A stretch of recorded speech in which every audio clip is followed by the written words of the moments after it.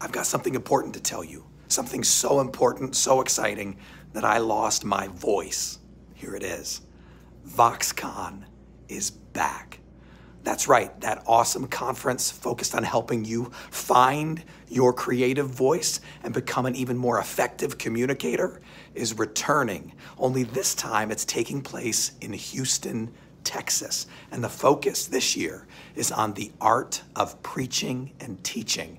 We're going to gather for two days in Houston to learn how to become more effective communicators of the most important message in the world. And we're going to be helped by some incredible speakers, some talented artists, and a whole bunch of awesome people in attendance with us.